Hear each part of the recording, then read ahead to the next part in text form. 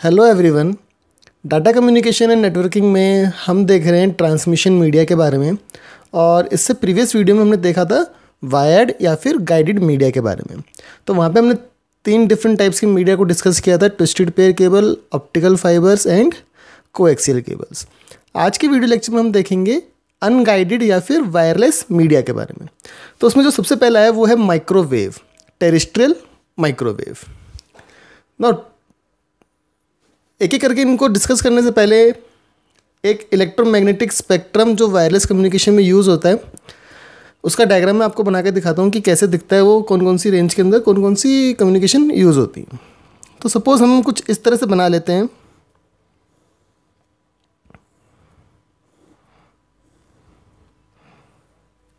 और यहाँ पे कम्युनिकेशन की रेंज को हम डिवाइड कर लेते हैं।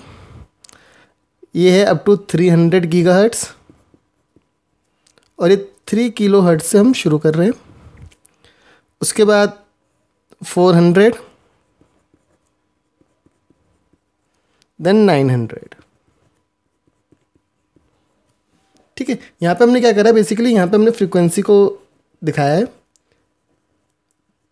और अब इस फ्रीक्वेंसी में जोन जोन से कम्युनिकेशन लाई करते हैं, उसको देखते हैं। सबसे पहले ये जो रेंज है, यहाँ से लेकर यहाँ तक, यहाँ पे आपकी रेडियो और माइक्रोवेव काम करती हैं। तो रेडियो एंड माइक्रो वेव इस पर्टिकुलर एरिया में, रेडियो एंड माइक्रोवेव उसके बाद यहाँ से लेके यहाँ तक इंफ्रारेड मैं यहीं पे लिख देता हूँ अंदर इंफ्रारेड एंड इसके बाद होती है विजिबल लाइट की रेंज ठीक है? तो ये इलेक्ट्रोमैग्नेटिक स्पेक्ट्रम है। अब शुरू करते हैं एक एक करके सारे कम्युनिकेशन मीडियाज़ को देखने का जो वायरलेस के ऊपर काम करते हैं। सबसे पहले हम देख रहे हैं माइक्रोवेव या फिर टेरिस्ट्रियल माइक्रोवेव इसमें एक सैटेलाइट माइक्रोवेव भी है, वो हम आगे देखेंगे इसी वीडियो लेक्चर में।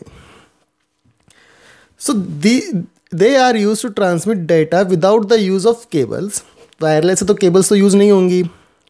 अब इसमें होता क्या है कि in this parabolic antennas are mounted on the towers to send a beam to another antenna which is around kilometre away कुछ किलोमीटर दूरी पे एक दूसरे एंटीना को सिग्नल भेजते हैं, किसी एंटीना से। तो देखो, इसमें बनता कैसे अगर हम डायग्राम बना के देखें इसका माइक्रोवेव लिंक का तो हम क्या कह रहे हैं कि पैराबोलिक एंटीना है जो किसी टावर के ऊपर है। तो सपोज़ एक टावर हम ऐसे बना लेते हैं, और इसके ऊपर एक पैराबोलिक एंटीना है।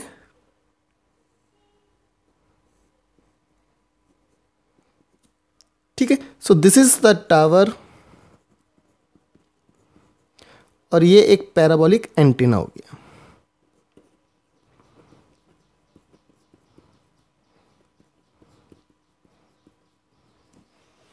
अब ये क्या करेगा? ये कुछ सिग्नल्स को सेंड करेगा। ठीक है? ऐसे ही यहाँ पे एक और एंटीना एक और टावर है, जिसके ऊपर एक और एंटीना लगा हुआ है।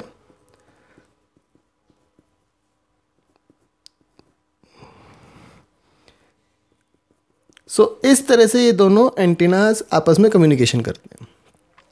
ठीक है? तो ये तो इसका डायग्राम हो गया माइक्रोवेव लिंक का।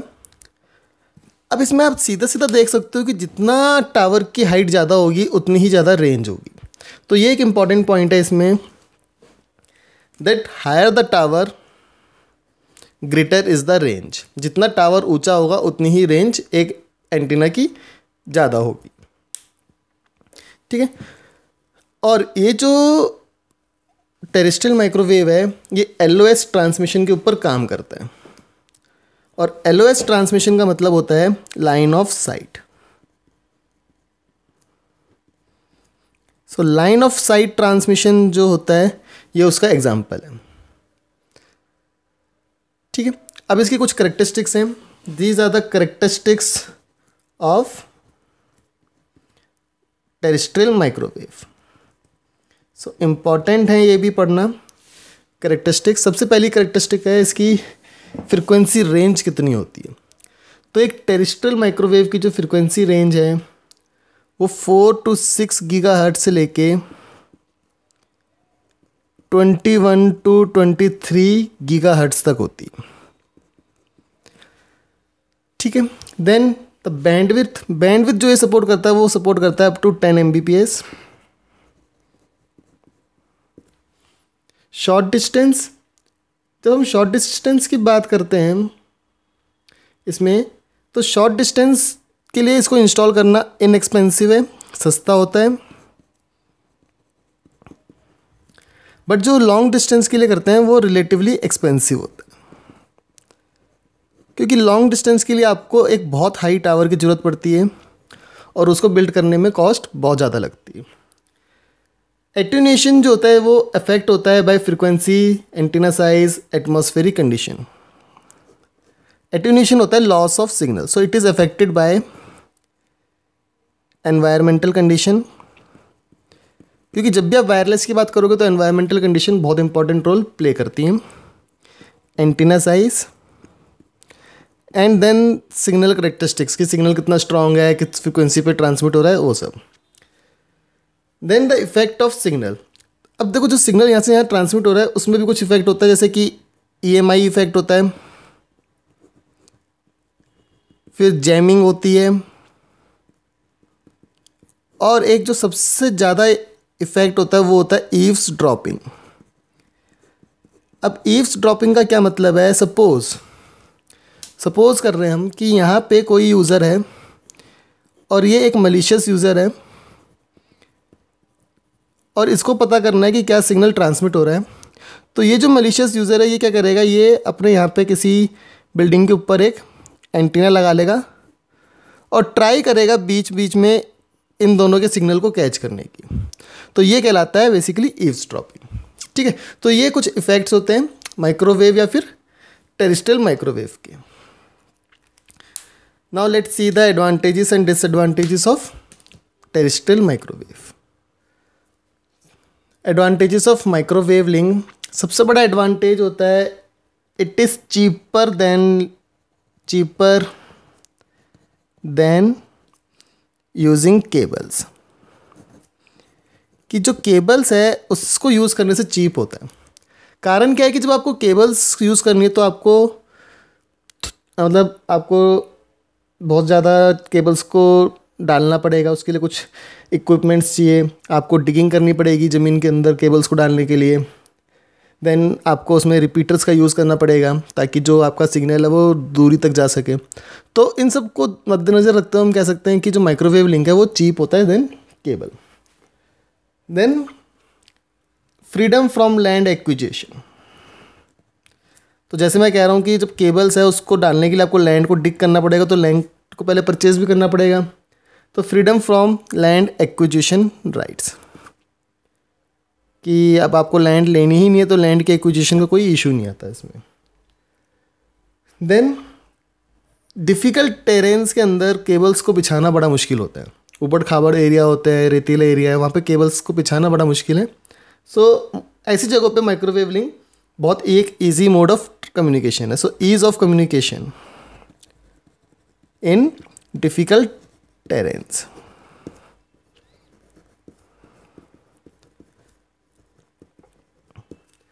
then अब बात होती है जब ओशंस की तो ओशंस के अंदर केबल बिछाना एक बहुत ही मुश्किल काम है।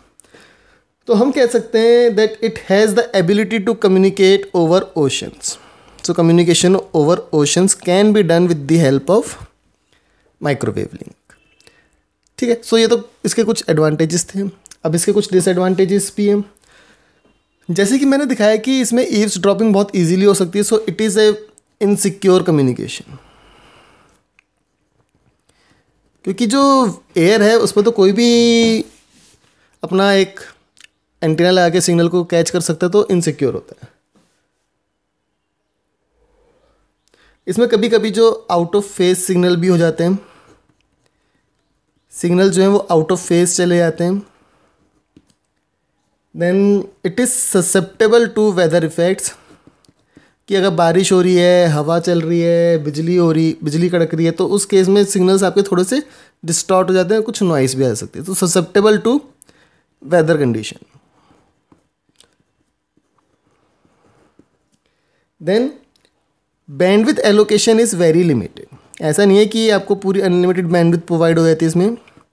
तो बैंडविथ की जो एलोकेशन है वो लिमिटेड होती है। So bandwidth is limited.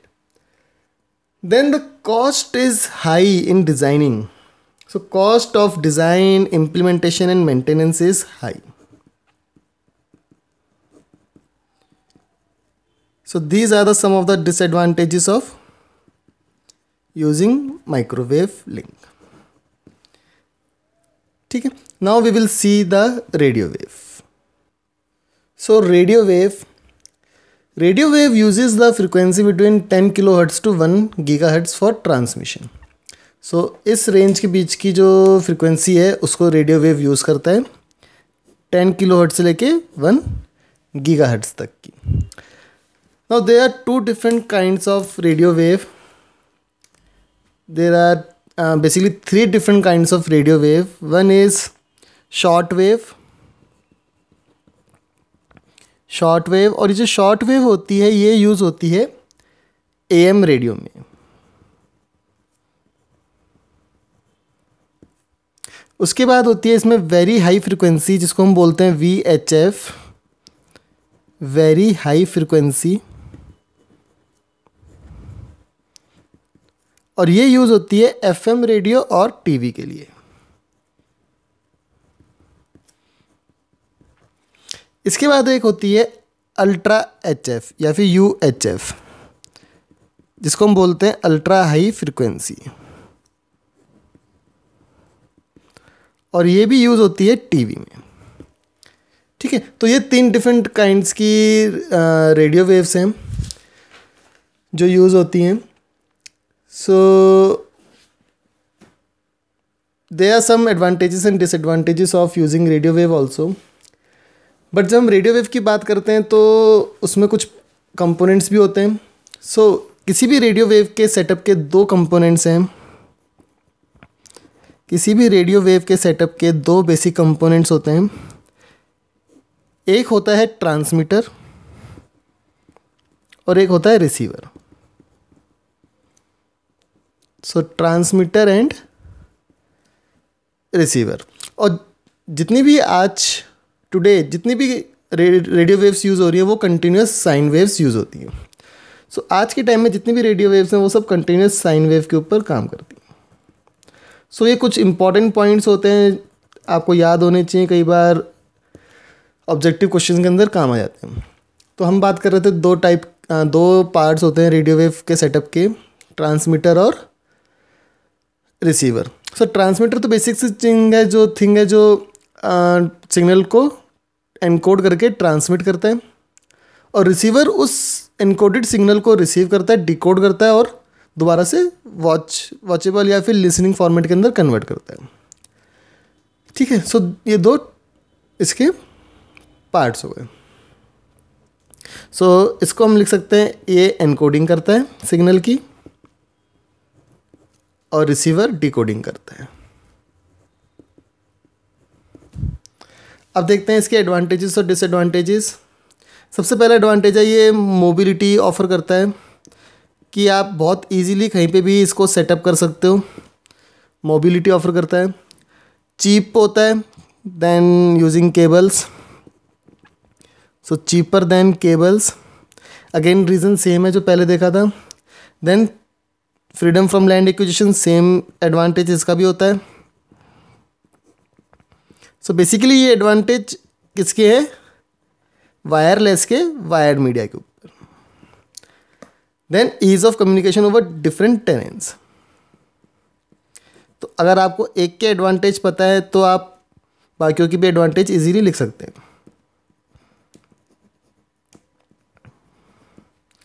But ऐसा नहीं है कि आप इसमें ये लिख दोगे कि ये ओशंस के ऊपर भी काम करते हैं। But most of the advantages common हो गए देन डिसएडवांटेज भी वही होते हैं। इनसिक्योर होता है। कोई भी इजीली इंटरसेप्ट कर सकता है। ईज ड्रॉपिंग इजीली होती है। Then susceptible to weather condition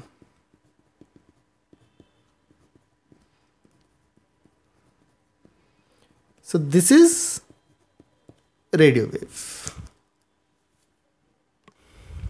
then the third type of wireless communication media is satellite microwave it is a special case of microwave relay system एक स्पेशल केस है microwave relay system का, जिसमें synchronous satellites का use होता है to relay the radio signal transmitted from ground station तो देखो, कुछ अगर हम इसको इस तरह से देखें, अगर हम इसका डायग्राम को इमेजिन करते हैं कि कैसे होगा। सपोज़ ये हमारी अर्थ की सरफेस है और यहाँ पे कुछ एंटीनास लगें।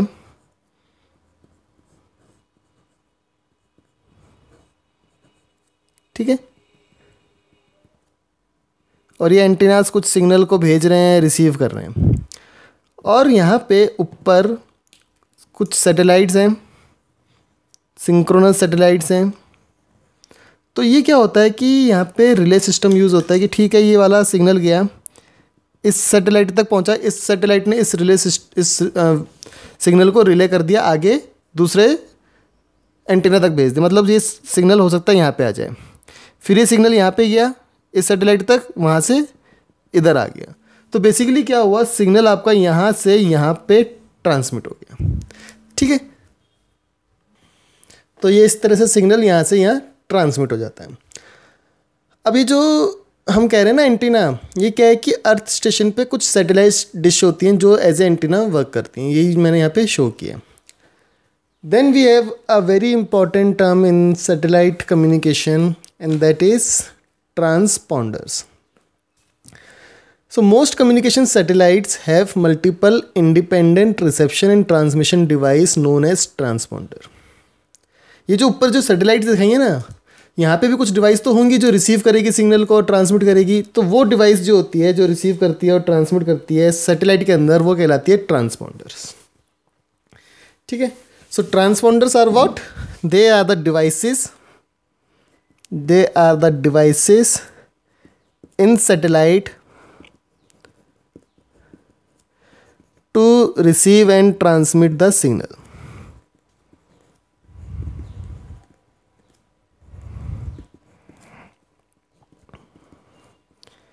ठीक है? So this is the basic of satellite microwave अब इसके कुछ एडवांटेज और डिसएडवांटेज सबसे बड़ा एडवांटेज तो होता है इसकी वाइड कवरेज एक कंट्री से दूसरी कंट्री एक कॉन्टिनेंट से दूसरी कॉन्टिनेंट तक सिग्नल बहुत ईजीली आप पहुँचा सकते हो। So the area coverage is quite large या very large area coverage is very large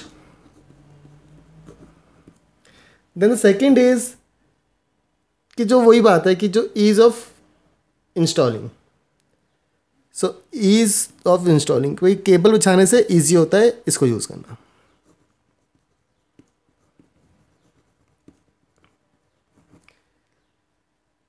then जो इंटर कॉन्टिनेंटल ट्रैफ़िक है मतलब जैसे यूके में कोई मैच हो रहा है, वो आप इंडिया में देख रहे हो सैटेलाइट कम्युनिकेशन की मदद से।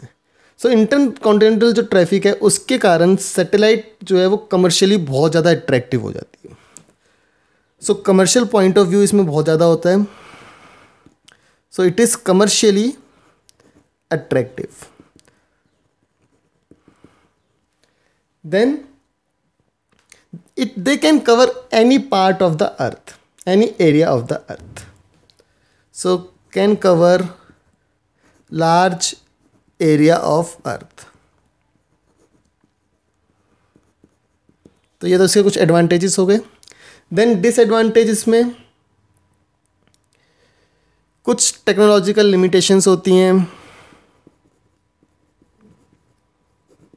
They are certain technological limitations जो लार्ज हाई गेन एंटीना को बना डिप्लॉय करने से रोकता है। Then overcrowding of available bandwidth overcrowding of available bandwidth